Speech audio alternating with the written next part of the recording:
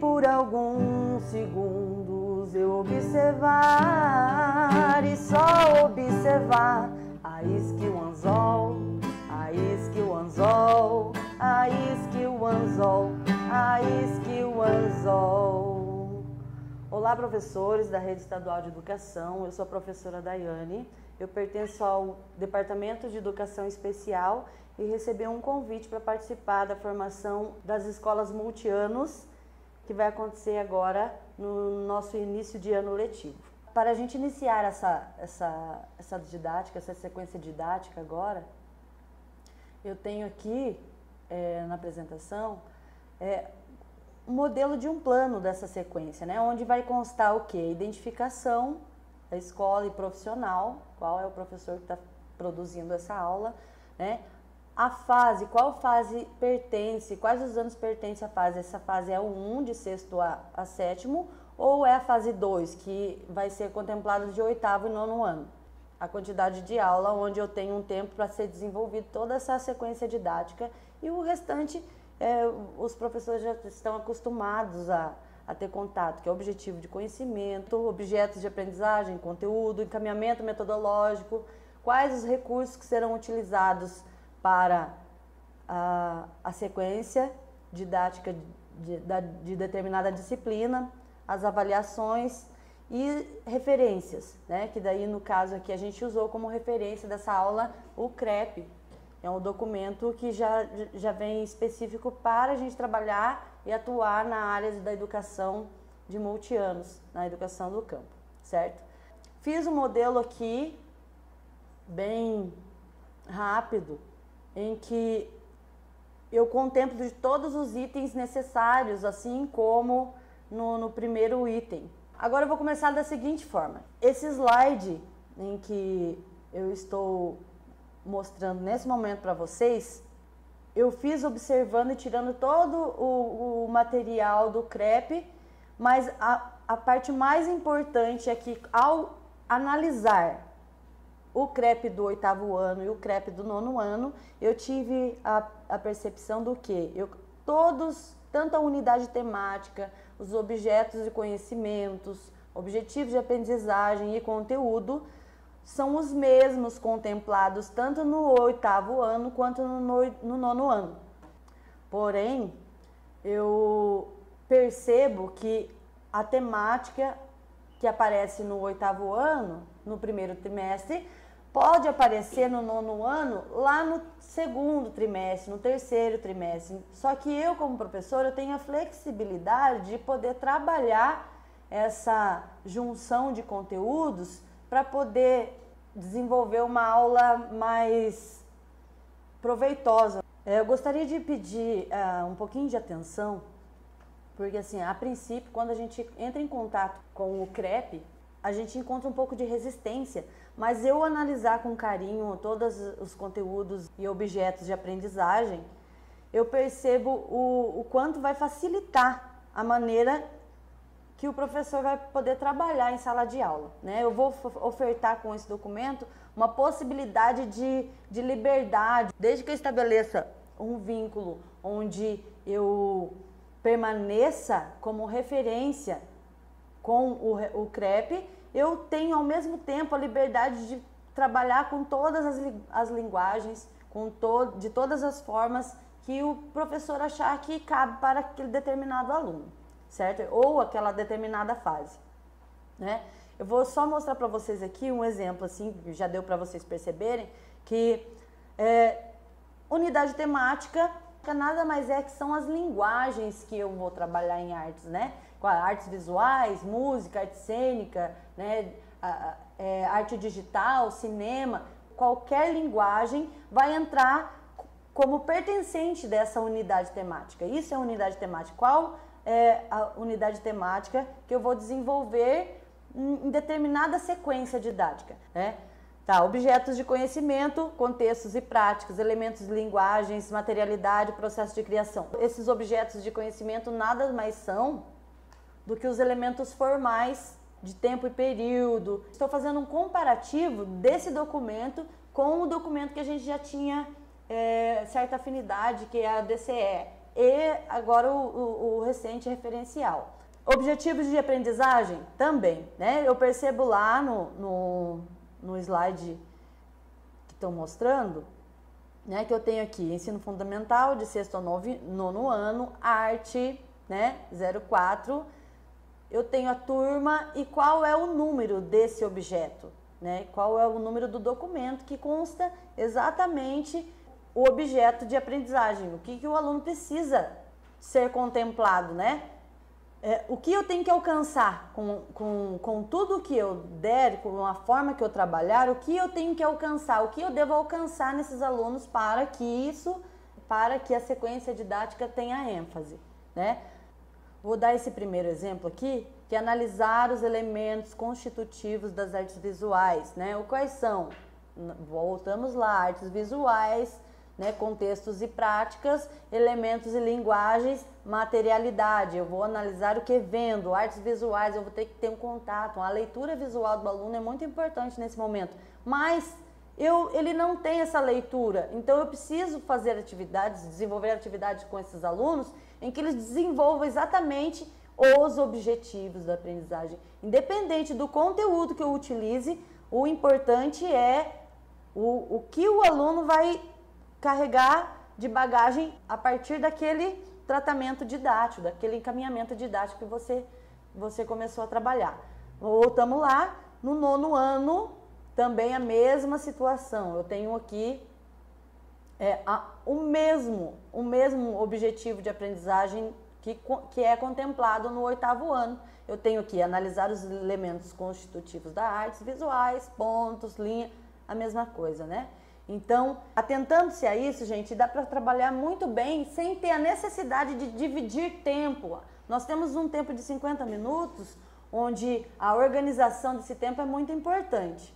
Eu posso, é, sim, trabalhar diferentemente a questão assim, de oitavo ano, um conteúdo, o, o nono ano, outro conteúdo. Eu posso utilizar todas as unidades, esses eixos, é, de forma a contemplar de um aproveitamento melhor desse tempo de aula, é, já que nós temos a facilidade em trabalhar o mesmo conteúdo com ambos os anos dessa fase. Bom, a partir de, de ter estabelecido essa ligação entre os anos, eu já tenho um, um princípio de, de onde eu vou começar com essa turma, que para mim também vai ser estranha, porque eu vou ter ser contemplado numa, numa mesma sala de aula dois anos distintos. Né? Eu estou fazendo aqui, é, eu preparei uma aula para oitavo e nono anos, onde eu terei alunos totalmente distintos um do outro e também a possibilidade, gente, que eu vou encontrar também, nós não podemos descartar, a possibilidade de eu ter um aluno de oitavo ano, por exemplo, que pode ter uma bagagem maior é, de conhecimento até o momento do que um aluno de nono ano. E que por algum motivo ou alguma condição até mesmo de tempo e esse respeito individual de desenvolvimento desse processo de aprendizagem ele é diferente eu posso ter um, um, um aluno também de nono ano onde ele se contempla de todo o conhecimento mas o importante com, com essa forma, nessa sequência didática, é eu estabelecer uma ligação de desenvolvimento nesse processo igual para todos, né? Bom, gente, então eu tenho aqui minha primeira aula, eu dou a dica para que o professor, eh, principalmente depois de ser definido todo o conteúdo e o objetivo de aprendizagem, o objeto de aprendizagem, eu preciso é, saber em que nivelamento que esses alunos estão, quais, qual o público que eu tenho para essa fase. Eu tenho oitavos e nonos anos, tá? Os oito, como são esses oitavos? O que eles trazem de bagagem? Como são também os nonos? O que eles trazem? Para isso a gente vai desenvolver uma, uma avaliação diagnóstica, que é fundamental, de conhecimento prévio. O que eles trazem de conhecimento prévio para que a minha sequência didática tenha, tenha ênfase. Bom, vamos lá. O conteúdo a serem retomados com a turma, né? Classificação do desenho, desenho de observação em especial, fazendo uma, uma, uma ligação aí entre tempo e espaço, eu vou trazer o renascimento que pode ser contemplado no oitavo e no nono ano. Não como um objeto de conhecimento, mas como ferramenta de para desenvolver exatamente o objetivo de aprendizagem que eu quero com, com, a, com essa fase, né? Elementos de, da linguagem visual, linhas, formas, texturas, superfície, volume, ponto, planos, cor e luz, modos de compor, bi e tridimensional, quais as semelhanças, contraste, ritmo visual, estilização. Esses são conhecimentos prévios em que os alunos já trabalharam e tem que ter o domínio para poder fazer desempenhar uma boa sequência didática com a temática que eu trouxe aqui. É, mas eles não sabem a diferença. Bom, cabe o professor então a fazer essa retomada, né? Eu vou trazer exemplos práticos, visual, para eles terem contato também, não é só falando. Eu quando eu entro em contato com algo visual, eu consigo fazer a ligação do que o professor está falando, né? O que, que é o desenho 2D? 2D, duas dimensões. Eu tenho aqui é, a altura e a largura.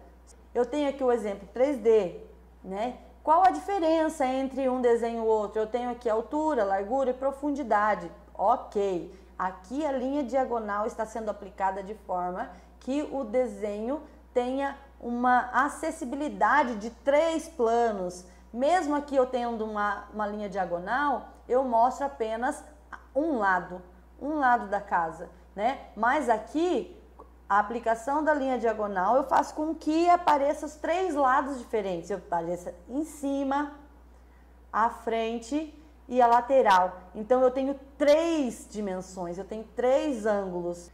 Bom, refletir, né? Agora eu vou trazer um, um diálogo com os meus alunos, né? Quais linhas é isso que eu acabei de explicar. Quais linhas podem ser identificadas nos exemplos dados, né, de 2D e 3D? Qual a diferença entre os desenhos trazidos no exemplo? Qual a linha que nos dá possibilidade de fazer o desenho em 3D? E tudo isso você já trouxe para o aluno quando você mostrou esses exemplos, né? Então tá, eles vão conseguir fazer esse, esse questionário com vocês, dialogar sobre isso, porque você já trouxe o exemplo de como é feita essa aplicação e a diferenciação das, das, das duas modalidades. Tá? Vou trazer aqui um, um texto de apoio, onde eu trago agora realmente a temática do renascimento, né? Porque, mas por que não tem nada a ver esse conteúdo com eu posso tem tudo a ver. Eu tenho aqui nesse nesse tema um o início de tudo, né? Foi quando se encerrou o desenho 2D e passou-se a ter um, um, olhar diferenciado sobre o que se via, né? Não mudou o jeito de pintar, mudou o jeito de enxergar o que se fazia, enxergar o que se pintava, o que se desenhava, né? Então, assim, foi um marco, tempo e período. Esse tempo e período serviu para que eu pudesse ter um uma diferenciação e aprender a diferença realmente do que é desenho 2D e 3D. Certo? Trago aqui os principais pintores e buscando um vínculo com o meio em que eles vivem, porque é habitual ver uma obra renascentista na casa de todas as pessoas, que é a Última Ceia.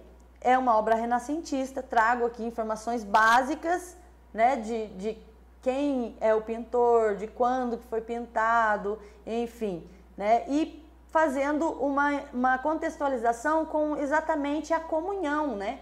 O que eu comungo, né? Partindo do, desse, desse prévio texto, bem sucinto, eu vou tra trazer exatamente a imagem do que eu quero que aconteça, né? É, o professor pode levar a imagem da obra em um slide ou impresso na internet ou no livro didático. Qual, qualquer livro hoje da rede é contemplado por uma imagem, porque ela, ela é bem comum.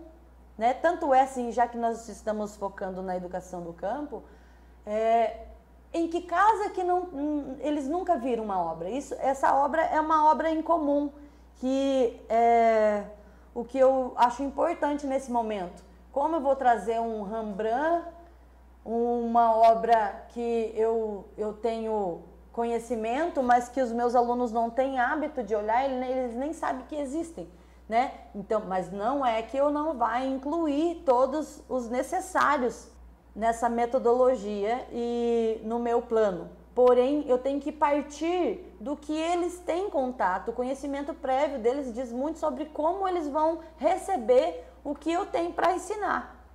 Bom, após apresentar agora a imagem que eu tenho, que eu posso trazer para eles, eu vou começar agora fazendo um gancho com a cultura local. A seguir, podemos contextualizar a passagem temática para a identificação cultural dos estudantes, né? Agora eu vou começar um, um diálogo com eles para eles se enxergar nesse momento, né? Mas é só é só Jesus Cristo que fez que fez ceia? Não, nós comungamos de ceia a todo momento, né? né? Vocês são são questionamentos e que o professor vai criar um vínculo ainda mais forte com os alunos. Questionário para todos os alunos. Eu ainda aqui nesse momento continuo com todos os alunos como um todo, sem discriminar oitavos e nonos anos, apenas aproveitando o tempo que eu tenho para fazer essa, esse encaminhamento didático. Vocês já comungaram de alguma ceia? Né? Em quais datas e situações vocês participaram de uma ceia? Né? Quais eram as comidas típicas feitas para, para a ocasião? E nessa, nesse mesmo diálogo, nós, a gente vai destacar também a questão de, de criticidade, de imaginação do aluno. Eu não, não, eu não preciso ficar arredondado é, apenas em olhar essa imagem e ver quem fez e, e, etc. Eu posso trazer o quê? O que esses personagens presentes na obra estão fazendo? Eles estão fazendo o quê? Vão surgir é, mil imaginações. Cada aluno vai falar uma coisa. Eles são criativos. Né? Quem são os personagens dessa pintura? Né? Quem é o pintor? Claro que nesse momento é, nesse momento do texto, a gente já traz informações prévias para po poder entrar com esse questionamento aqui com os alunos, para é, tudo faz, começar a fazer sentido no, nesse momento deles. Bom, agora a gente entra em desenho de observação, né? Entre as diferentes formas de desenho. O desenho de observação é o gênero que mais desenvolve inteligência pictórica espacial e proporcional na modalidade da linguagem visual. Então aqui eu estou explicando o que é o desenho, para que, por que ele serve. A observação, então, eu vou ter apenas com o desenho, né? O que, que eu estimulo com essa, com esse objetivo? É exatamente o item 1, que é analisar os elementos na apreciação das diferentes produções artísticas, enfim. Agora, nós temos aqui é, algo importante quando o professor ele desenvolve uma, uma sequência didática ele tem que prever até quais os materiais quais os recursos serão utilizados para que isso seja desenvolvido de uma forma que, em que não se faça exatamente perder tempo. Bom após essa conversação com os alunos é, o professor já, já, já sabe o que vai utilizar. A construção de uma sequência didática, ela não serve para você ter um documento na mão, ela serve para você, o professor se organizar, se encontrar, a ponto de que o professor ele saiba o que ele precise, o que ele precisa para o encaminhamento dar certo.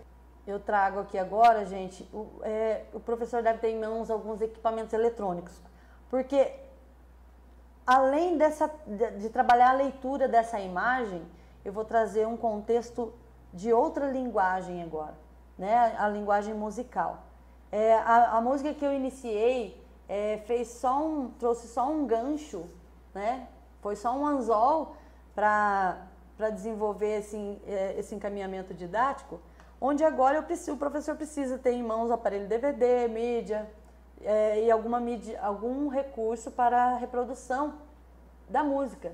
É, eu escolhi, eu escolhi aqui nesse encaminhamento é a música do Rapa, né, que é Pescador de Ilusões, onde se trata do observar também, em um outro contexto. Né? Se por alguns segundos eu observar e só observar a isco anzol, a isco anzol, né? Qual é a analogia que eu trago? Né? Eu vou desenvolver aqui o, o senso crítico do aluno. Eu vou dar a, a, possibilidade de que o que eu escuto, o que eu ouço, eu posso também observar é, criticamente a ponto de ter o discernimento em que as palavras nem sempre dizem exatamente o que estão escritas. Aí começamos um outro diálogo também com os alunos. Né, questionário para discussão com todos os alunos, né, interpretando as entrelinhas, né? Qual o sentido da palavra observar contido na música, né? É o mesmo observar que eu tenho que ter quando estou fazendo um desenho? É um observar ou é um observar do, de coisas que não podem ser vistas? Enfim, aproveitando é, esse, essa deixa, gente, eu posso também voltar a contextualizar com o meio, com a vivência desses alunos, né? A isque o anzol, né? Ainda assim, estarei pronto para comemorar. O que, que eu estou comemorando, né? Vocês já pescaram, né? Quais os rios que pertencem ao sítio, bairro ou cidade que vocês moram, né? Quais os peixes são típicos dos rios no qual vocês conhecem? O sentido da palavra pescar contido na música é o mesmo de pescar no rio? Esse diálogo também é importante para a questão de, de interação com os alunos, para que eles percebam o vínculo entre as linguagens, onde ambas as linguagens, até o momento, eu consigo fazer uma, uma contextualização com a minha vida, com o que eu vivo, com a forma que eu vejo, com a simplicidade e sensibilidade que eu posso ver as coisas ao meu redor. Bom, Agora nós vamos começar a atividade prática mesmo, de desenho de observação. Né? O professor dirige um enredo onde pede para, os, para que os alunos escolham um objeto de sua preferência. E vai pedir para que eles posicionem esse objeto sobre a mesa de forma que, da forma que preferir. E faça um desenho desse objeto escolhido. Nesse momento, o professor não pode interferir. Deixa o aluno produzir tal objeto como ele enxerga o objeto. Primeiro, porque ele está fazendo algo da forma em que ele está vendo. Eu, o professor precisa ter esse, esse, essa deixar ele à vontade para que exatamente para analisar em que, em que grau de observação que esse aluno está, o que ele consegue quanto aluno e percepção do, do ambiente. Lembrando, gente, que é, ainda todos os alunos estão juntos aqui. Eu tenho alunos de oitavo ano, eu tenho alunos de nono ano, onde eles vão permanecer juntos até o momento. Apesar dessa aula ser individual, né, a questão de necessidade daquele momento o aluno ter ele e o objeto, né, a sala toda vai ser pertencente a essa aula. Né? Como houve, depois de algum tempo que o aluno já fez desenvolvimento e teve a, a, a condição em que você vai poder saber o que ele contempla quando olha, o que ele absorve quando observa. Eu vou escolher, pegar um, um, qualquer objeto de qualquer um dos alunos que está nessa aula e eu vou fazer a importante informação de que de como eu devo analisar esse objeto. Eu vou pegar um objeto e eu vou fazer a, a, a instrução Tipo, é, esse objeto, qual a forma que tem? Então, trazendo novamente aquela analogia que nós fizemos no começo para ver se o conhecimento prévio deles era pertencentes ao ano e série que eles estão frequentando. Né? Quais as linhas que é contemplado? Vou voltar novamente com esse contexto para desenvolver essa atividade. Vai, vão ter alunos que não vão ter conseguido enxergar exatamente o objeto como um todo. Porque assim, nós temos um conflito de do que eu vejo e do que eu lembro que eu vi. Isso deve ser considerado. Né? O observar é desenhar um objeto tal como ele é e não como eu imagino, não como eu me lembro que eu fazia quando eu estava é, em séries anteriores ou eu era é, mais novo. É um diálogo que, em que o professor tem que ter com um aluno o tempo todo. E tudo muda. Até a maneira de se observar deve mudar. Terminando esse processo, eu vou trazer, fazer um, um outro gancho de, de, de linguagem. Eu, vou eu posso trazer também a, a arte cênica aqui, né? Para essa atividade, o professor pergunta a todos os estudantes quais atividades gostam de fazer no dia a dia. Né? A provocação intencional para estabelecer uma ligação entre o, o, que, o lembrar do que já observou é, para interpretar e imitar o que lembra. O observar para o identificar e adivinhar. Né? São jogos de improviso que eu trago agora. Mas qual a ligação que eu tenho das, da arte visual em que eu estava trabalhando e eu vou trabalhar jogos é, teatrais agora nesse momento? Tem toda a ligação. Né? Nós estamos falando do observar num contexto geral que engloba todo o meu ambiente. Né? O, o observar ele diz muito sobre o que eu aprendo. Então, a partir do momento que eu trabalhei a forma do observar, eu consigo desenvolver também outras linguagens da arte. Tá? E os encaminhamentos que eu sugiro aqui no caso é iniciar com atividade individual. Agora estou fazendo um, um, um contexto de individualidade. Né? Para atividade individual, né? cada aluno vai escolher uma atividade para representar como mímica, para que os outros descubram qual é né? Esse, a mímica. Então, vai acontecer. Sugiro que é, a gente volte lá na primeira, na primeira pergunta que eu faço. Né? Para essa atividade, o professor pergunta aos estudantes quais atividades gostam de fazer no dia a dia.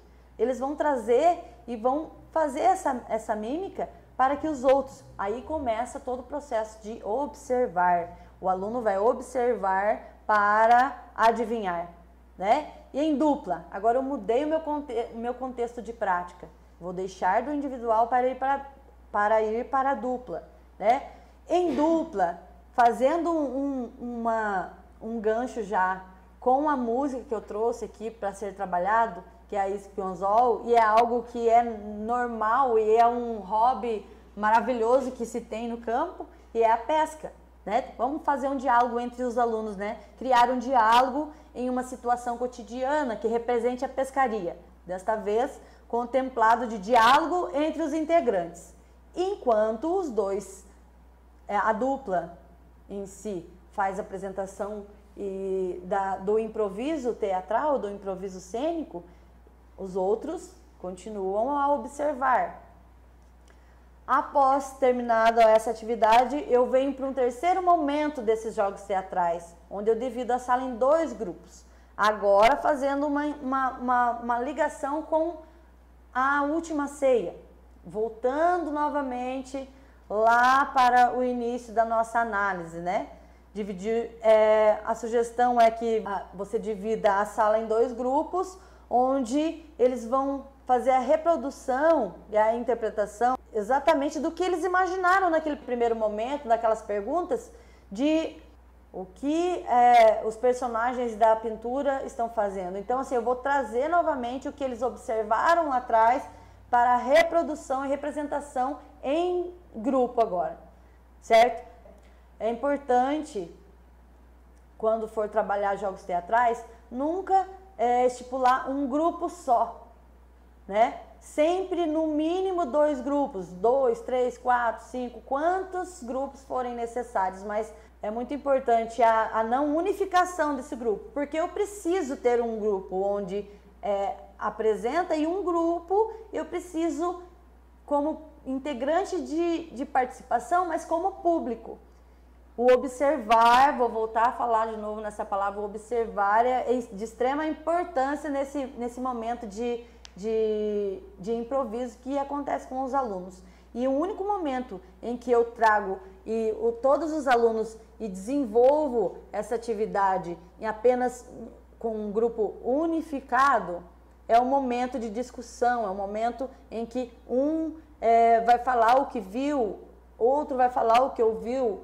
São, é um momento em que os alunos vão fazer uma troca de experiência, de dicas onde, ah, eu faria isso, eu faria aquilo, eu faria dessa forma. Nossa, na hora que você fez, é, eu lembrei que eu poderia fazer. Nossa, fez igualzinho a algo que eu já vi. Então, esse é o processo importante quando se trata de um único grupo, que é os grupos, né, atingir o objetivo da proposta. É, é essa organização pode ser feita em círculo, pode ser feita em U, mas que o único objetivo de quando eu reúno os alunos de um grupo só é exatamente para uma conversa reflexiva sobre o observar, sobre o que observaram, certo? Bom, voltamos de novo na parte de, de desenho de observação prática. Vocês perceberam que todas as minhas aulas aqui são práticas. Eu tenho é, a sugestão para interdisciplinaridade, né? A arte e matemática.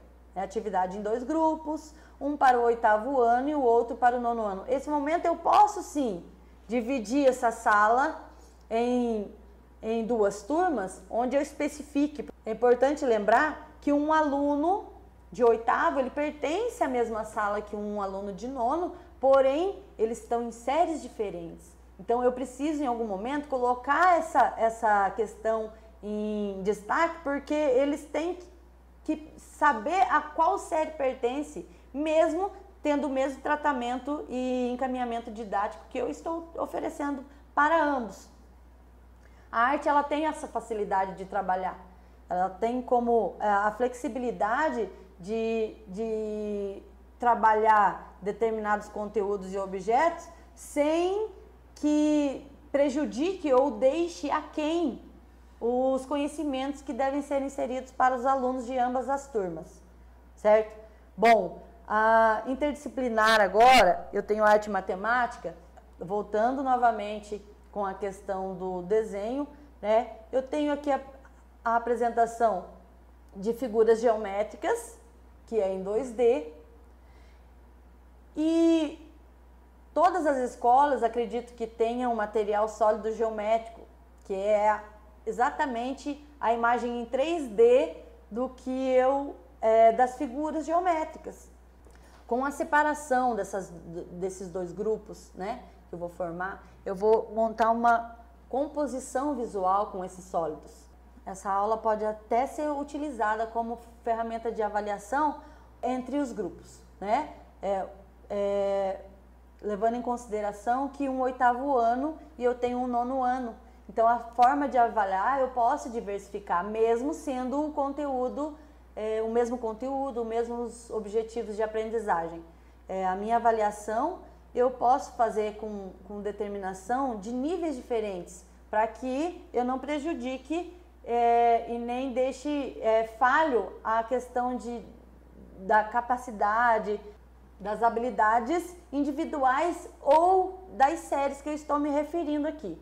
Fiz a minha organização de, de uma composição onde eu dividi esses dois grupos.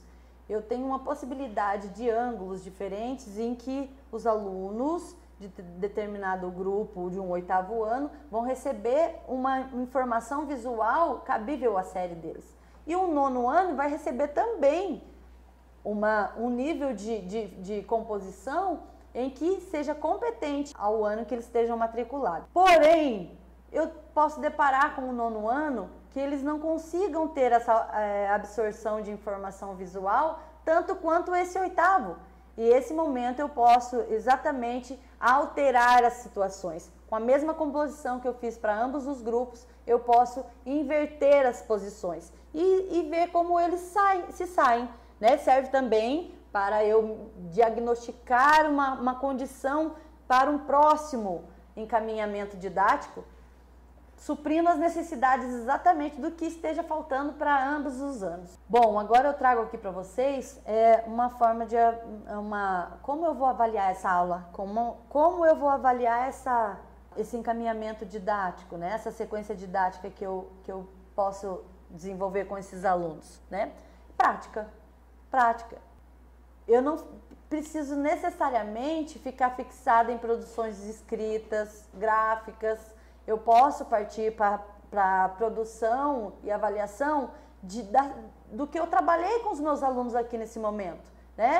Eu tenho aqui as, umas, umas sugestões em que eu tenho, eu posso trabalhar nessa forma de avaliação, produção escrita, gráfica, cênica, oral, né? Se vocês perceberem durante a minha aula, eu trabalhei toda essa sequência de e posso é, utilizar tudo o que eu fiz diariamente com os alunos para poder avaliar eles nesse momento. Ou eu posso sim fazer uma prova objetiva ou descritiva, né? É, através de relatórios, seminários ou, ou até mesmo portfólio. Exposições, né? produções variadas, intencionalmente selecionadas. Eu procuro nunca trabalhar o livre. Eu acho sempre necessário a gente é, dirigir a nossa aula, né? Mas o, a, a única posição que o livre tem que, per, tem que pertencer é o, o livre como criador em cima da, do direcionamento que eu estou fazendo com ele, né? Até esse ser ser, ser formado criticamente, para ele ter autonomia de saber que aquilo que ele está fazendo livremente tenha utilidade, seja útil, seja é, um, um, acréscimo no conhecimento que ele já traz, na bagagem que ele já traz de, da vida, do cotidiano e do, do dia a dia em que ele é, é do dia a dia é, natural dele.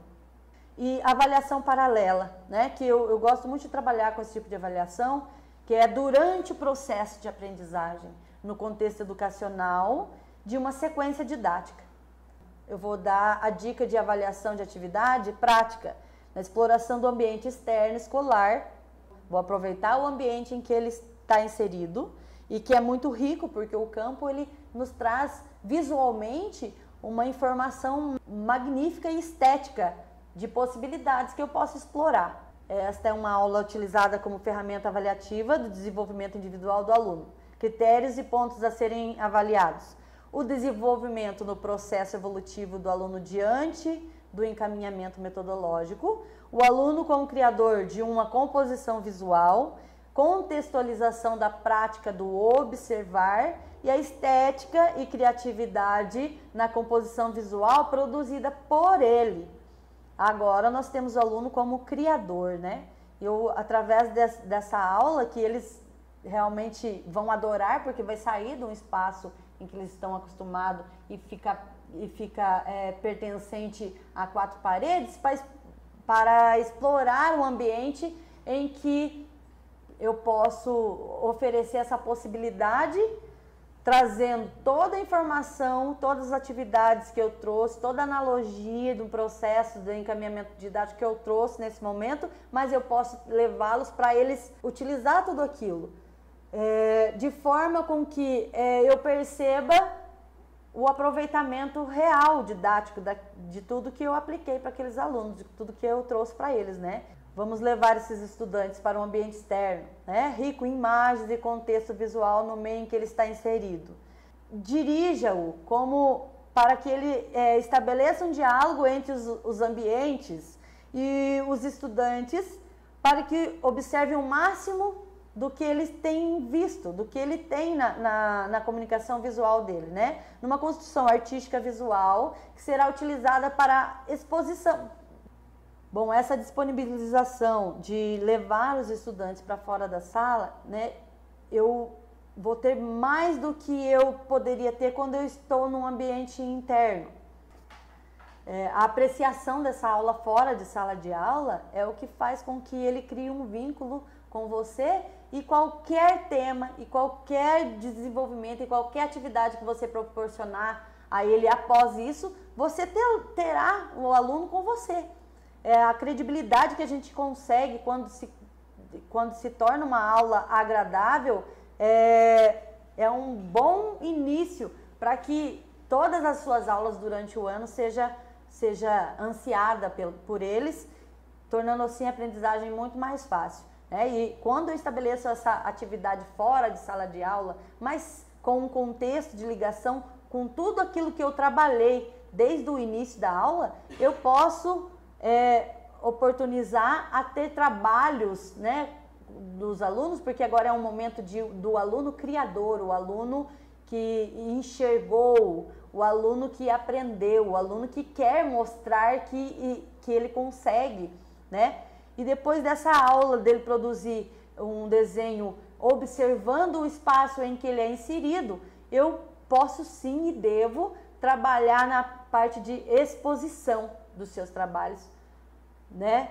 É, não tem obrigação de fazer essa exposição? Não, mas é uma das únicas maneiras em que o aluno se sente inserido naquela escola e, faça, e se sinta como se fizesse parte daquele ambiente, porque ele vai olhar o que ele fez. O que ele fez é importante e o aluno se sentir importante é um dos primeiros passos para que você tenha um bom resultado nas sequências didáticas.